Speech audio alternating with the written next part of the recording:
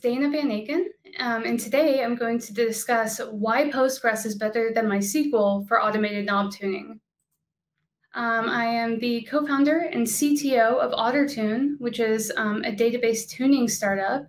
Uh, prior to this, um, I was a PhD student at Carnegie Mellon, um, and I graduated in February 2021. Um, and during that time, I worked on knob tuning, uh, and I also uh, worked that entire time on Postgres as well.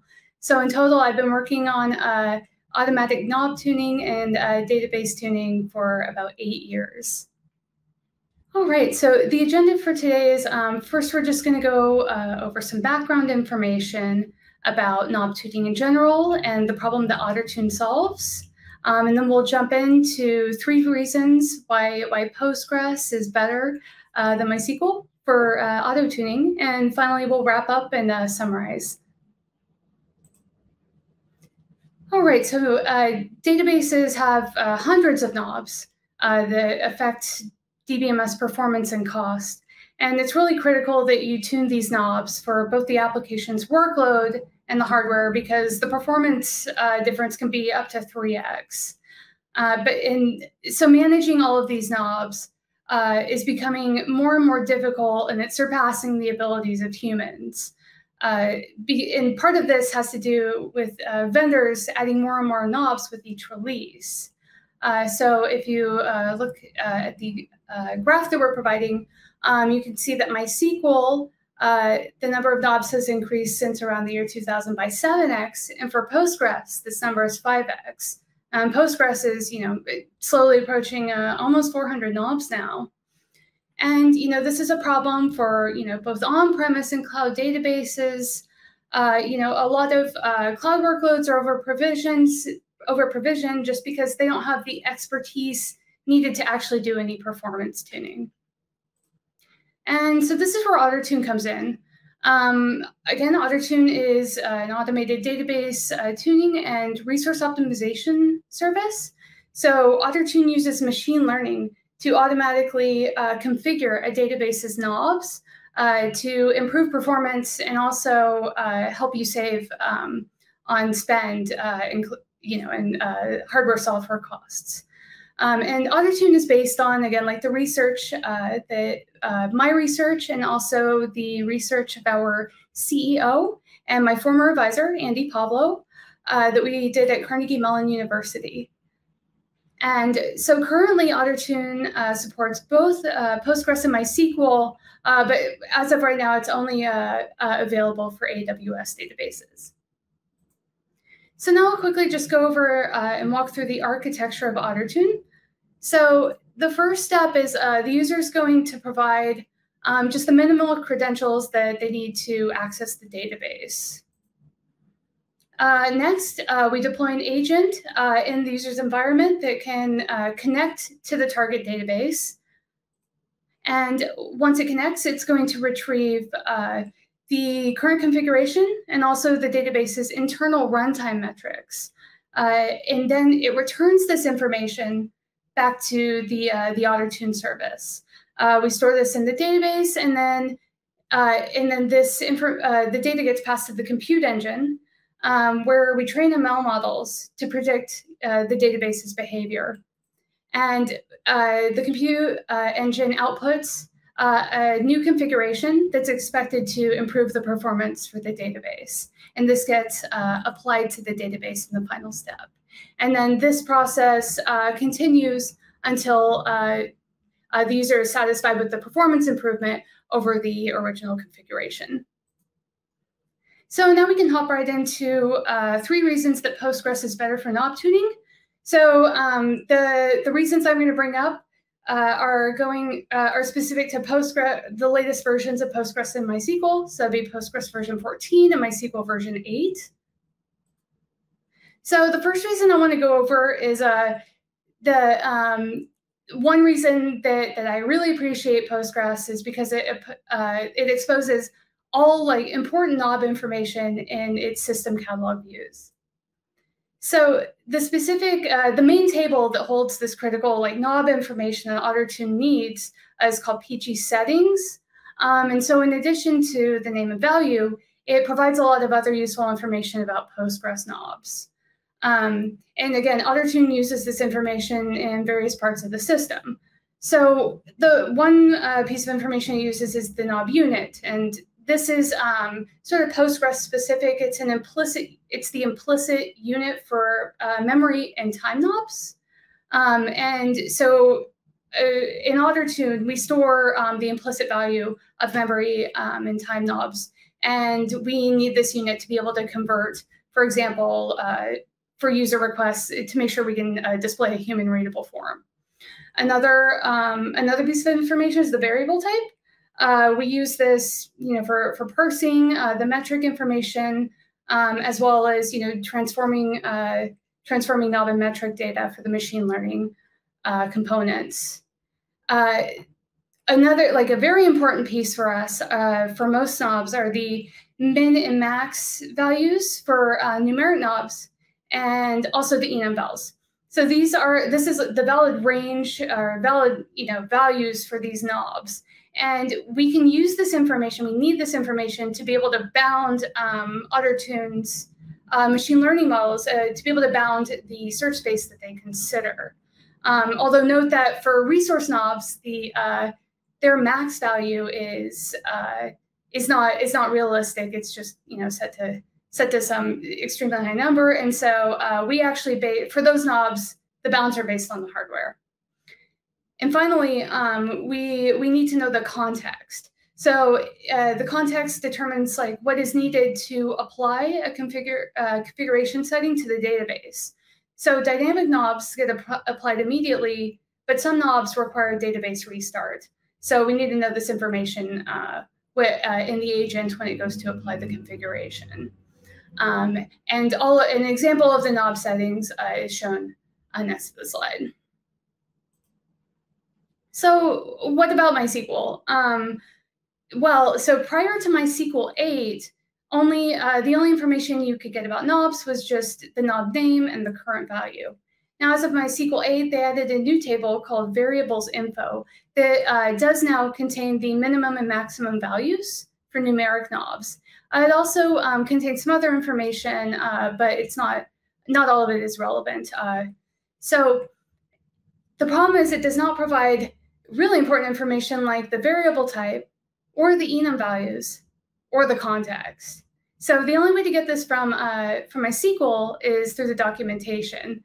And you know, it's it's just so much easier to be able to just quickly collect this from uh, a table instead of having to you know go through the documentation or you know try try and scrape documentation. Uh, so I you know I really appreciate that uh, Postgres uh, just provides this so quickly. So the next reason um, that I that uh, I think Postgres is really beneficial for knob tuning is because they provide great flexibility for uh, changing knob values. So both Postgres and MySQL uh, support changing uh, knob settings at different scopes. Um, so both of them uh, allow you to change scopes at the global level. Um, and this means that uh, settings get applied to the uh, entire database system. Uh, Postgres allows you to also change knob uh, dynamic knob settings. So once the don't require restarts uh, for the database session, so the connected session, and then also at the user level. Uh, and MySQL uh, does not provide support for changing them at the database or user level. So this is important because there's, you know, uh, certain knobs, uh, you can see the example I posted here, like uh, one of these knobs is workmem. And this is a knob that you generally do not want to, you know, set very high uh, globally. But there are cases, you know, if you're doing a lot of sorting operations um, where you where it's really beneficial and improves for improves performance to be able to do this. So in the example, uh, you can see uh, the global value uh, for the knob values is four megabytes, but we can set it specifically for the user much larger if they're, you know, a, have some, you know, analytical workflow. So that's cool. Um, but what's even cooler is that, you know, what if what if you, you know, have one database where you, or yeah, one database where you really uh, like, you're you're really processing. You really need a high work mem setting, right? Uh, so you can actually set this value for both the, uh, the user and the database. So this is really convenient because you know it allows you to it gives you the flexibility of having like a user uh, where you can specify this value on a per database uh, basis. So the final reason, and perhaps like the most exciting feature to me, uh, or you know, feature that I really enjoy from Postgres, is that it has very awesome extensions, and they're very powerful. So uh, extensions were um, implemented in Postgres back in 2011. Uh, this was in version 9.1. Um, and this, uh, the goal was to, you know, make it easier to package uh, new additions to Postgres. But what makes these really powerful is they have these really low level hooks that let you modify and even override completely uh, Postgres's core components. And the benefit of doing this over, you know, forking the source code is that the amount of maintenance uh, or you know the effort that it takes to maintain compatibility with new Postgres releases is you know greatly decreased. Uh, so just to, I mean, uh, to demonstrate like how powerful this is, uh, you can see uh, people often refer to TimescaleDB and Citus data, which take Postgres and you know repurpose it to, to be a, a different database and solve a different problem. So Citus database transforms uh, Postgres into distributed version, uh, and TimescaleDB offers a time series Postgres.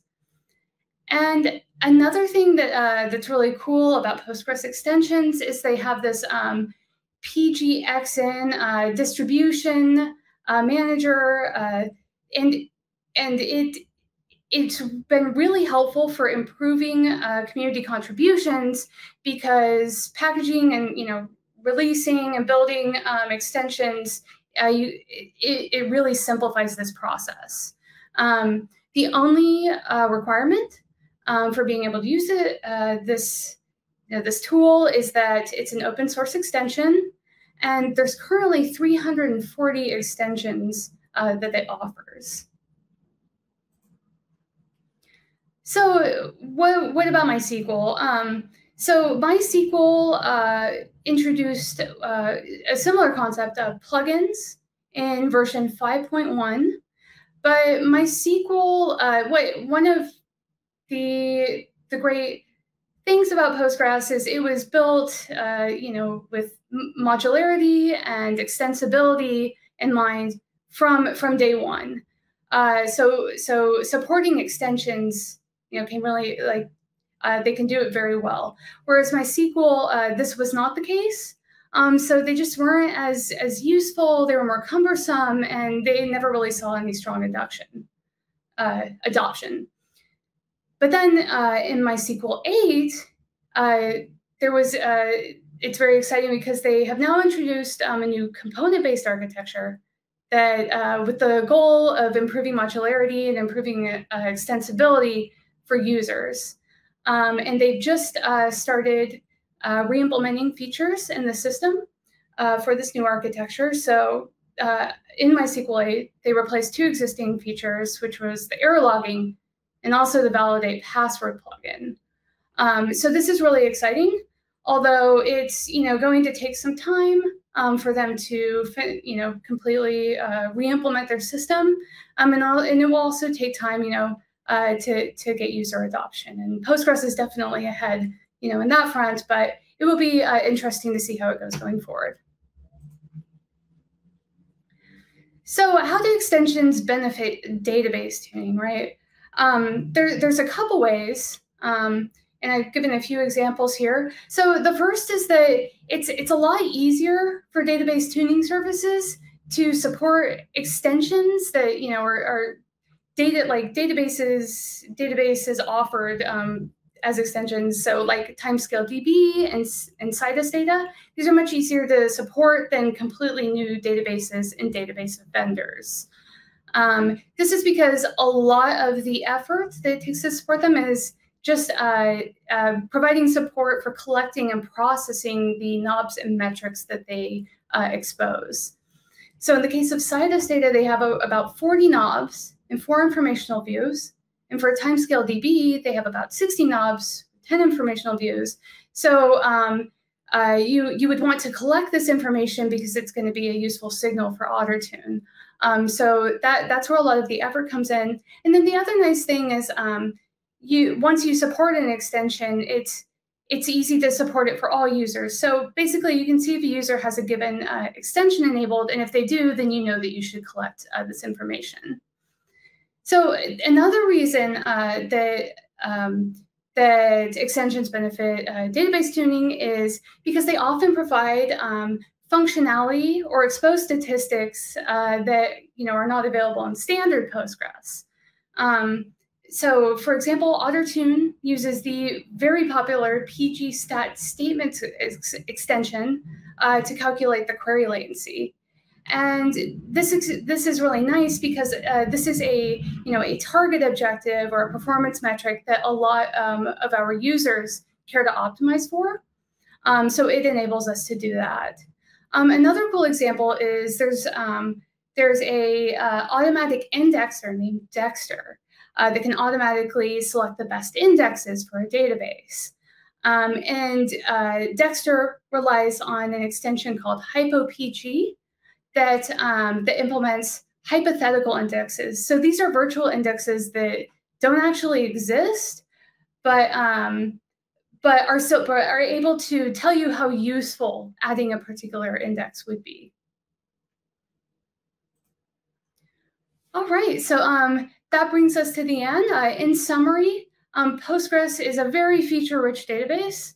Um, some of the features are particularly useful for automated knob tuning, uh, services like OtterTune.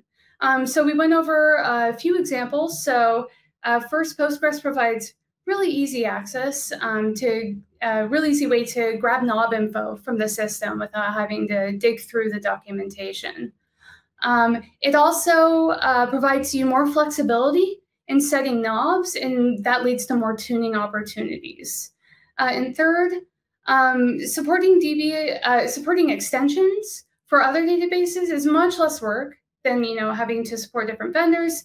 Um, and extensions can also be used to uh, extensions also can provide information that's not immediately available in Postgres uh, that a tuning system might need uh, to to improve their capabilities. And with that, that brings us to the end of this talk. And uh, thank you very much for, uh, for listening. And I hope you have a great time at Citus Con.